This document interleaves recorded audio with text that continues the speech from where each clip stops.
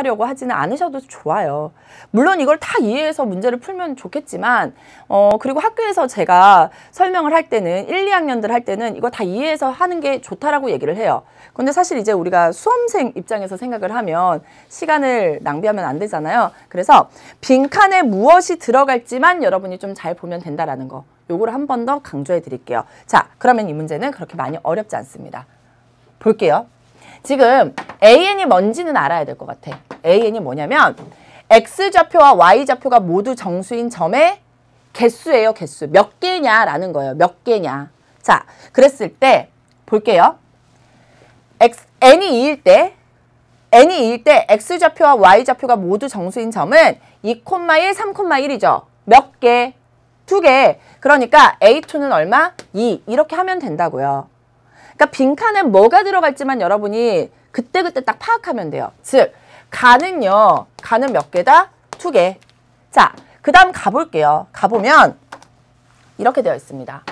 위의 그림과 같이 1보다 크거나 같고 n-1보다 작거나 같은 정수 k에 대하여 이 k에 대하여 이 k에 대하여 주어진 도형의 내부에 있는 점 중에서 주어진 도형의 내부에 있는 점 중에서 x좌표가 정수이고 y좌표는 k 그러니까 y좌표는 k로 정해놓는 거예요. X좌표는 정수예요. 그래서 문제에서 알려줘요. k제곱 플러스 1부터 시작하래. k제곱 플러스 1, 콤마 k. 그럼 다음은 뭐예요? k제곱 플러스 2, 콤마 k가 되겠죠. 쭉쭉쭉쭉쭉쭉 가라 라는 겁니다. 그러면 마지막에는 어디 있어요? 여기 있겠네.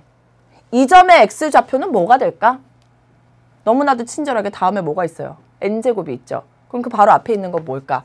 n제곱 마이너스 1일 거 아니에요.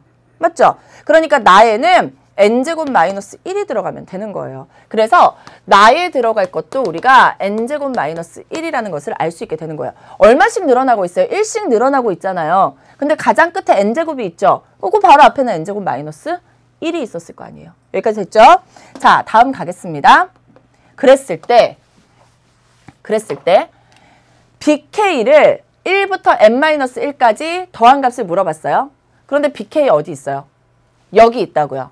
그럼 BK는 나를 알아야 되는데 나는 이미 알고 있죠. n제곱 마이너스 1이잖아요.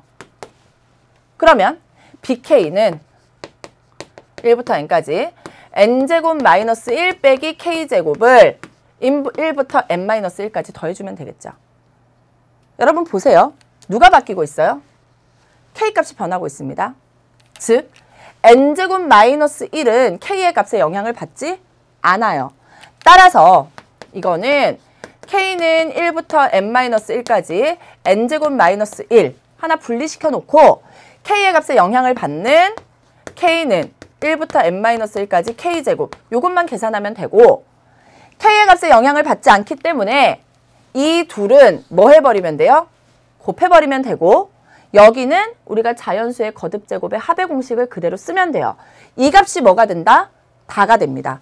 따라서 다를 한번 써볼까요? 두 개 곱하면 n-1에 n제곱 마이너스 1에다가 빼기 k제곱이에요. 얼마에서 시작합니까? 6에서 시작하고 분모는 6이고요. n이 아니라 n-1이죠. 잘 봐야 돼요.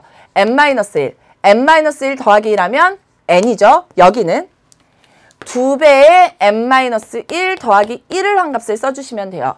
즉 2n 마이너스 2 더하기 1 마이너스 1이 되죠. 즉 2n 마이너스 1 이렇게 들어가게 되는 겁니다. 선생님 이거 예쁘게 계산하고 있습니까? 안 하고 있어요. 왜? 계산하는 문제거든. 계산하는 문제예요. 자, 가에 알맞은 수를 p라고 했습니다. 가에 알맞은 수를 p. 그 다음 나 다에 알맞은 식을 각각 이 값을 f, 이 식을 fn이라고 하고 이 식을 gn이라고 했을 때 p 플러스 f4 플러스 g 6의 값을 물어보고 있기 때문에 굳이 예쁘게 정리하지 않은 거예요. 자, p의 값은 2고요. n자리에 4 대입하래요. 4, 4, 16 빼기 1, 15죠. 그 다음 n자리에 6 대입하래요. 그럼 6 빼기 1 하면 얼마? 5. 6, 6, 36 빼기 1 하면 35가 되고 빼기 6분의 6 마이너스 1 하면 5, n 6이죠? 6이 12 마이너스 1 하면 11이 나오게 되어서 굳이 여러분이 처음부터 예쁘게 정리하실 필요가 없는 겁니다. 그래서 55가 되고요. 여기 계산할 수 있죠? 여기 계산할 수 있죠? 그래서 정답은 137이 나오게 되는 거고요. 빈칸 추론 문제 치고는 그렇게 어려운 문제는 아니었습니다. 그런데 여러분이 빈칸 추론 문제 굉장히 힘들어해요. 힘들어하기 때문에 여러분이 앞뒤 잘 파악하면서 빈칸에 무엇이 들어갈지만 좀 잘 보시길 바라겠습니다. 아셨죠?